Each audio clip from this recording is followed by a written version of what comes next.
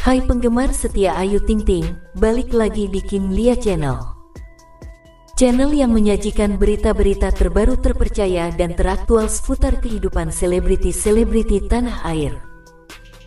Sebelum nonton video ini, jangan lupa untuk like, comment, share, and subscribe, agar tidak ketinggalan berita-berita terbarunya.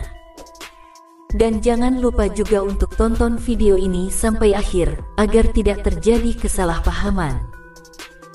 Kondisi kesehatan pedangdut Ayu Ting Ting tengah disorot setelah harus berpisah dengan tunangannya Letu Muhammad Fardana.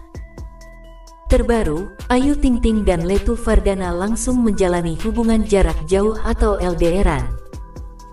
Padahal mereka baru saja bertunangan belum begitu lama. Dikarenakan Letu Fardana ditugaskan ke Papua selama setahun.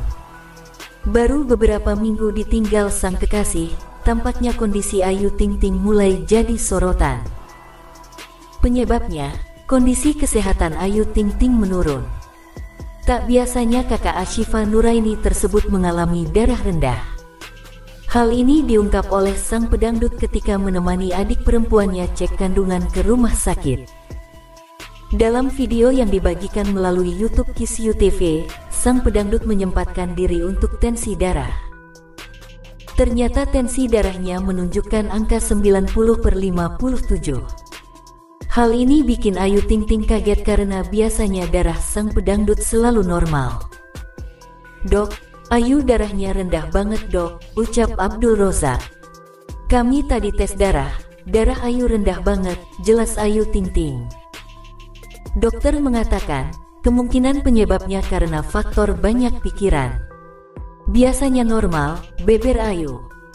Sebenarnya kalau gak ada pusing gak ada apa sih wajar aja, ujar dokter.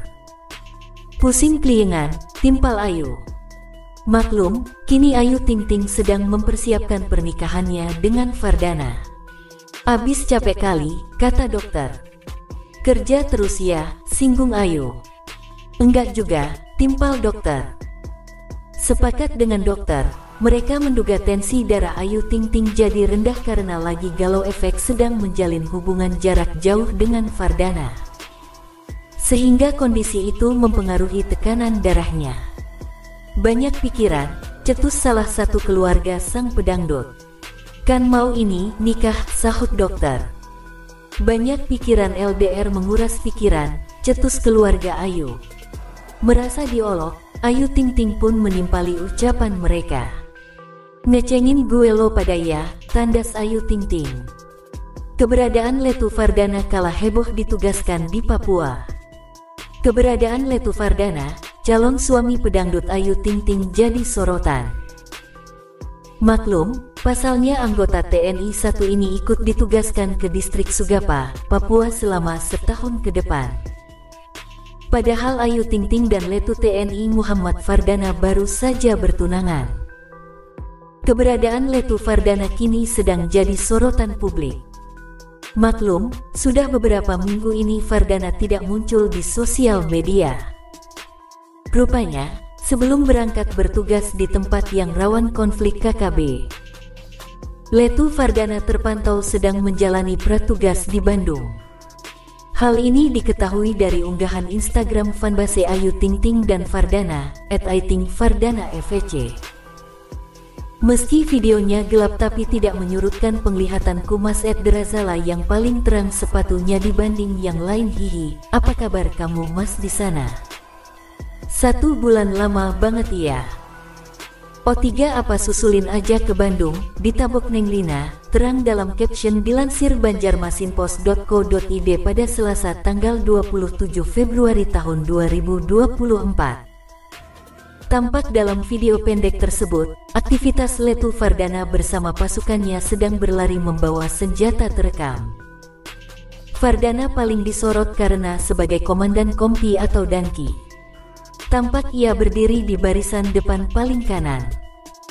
Kabar selanjutnya, Bilkis Humairah Razak, yang akrab disapa Bilkis, adalah anak tunggal Ayu Ting Ting dan mantan suaminya, Henry Baskoro Hendarso atau Enji. Dilahirkan pada tanggal 28 Desember tahun 2018, Ayu Ting Ting telah merawat Bilkis sejak dalam kandungan dengan bantuan kedua orang tuanya.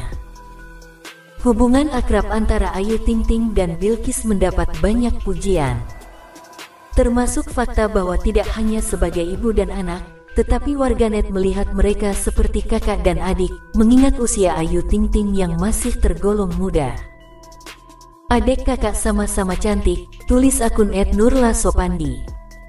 Berikut potret Ayu Ting Ting dan Bilkis dirangkum Senin, tanggal 26 Februari tahun 2024. Pada tanggal 28 Desember tahun 2024, Ayu Ting Ting mengucapkan selamat ulang tahun yang ke-10 kepada putri semata wayangnya melalui akun Instagram pribadi, @ayutingting92.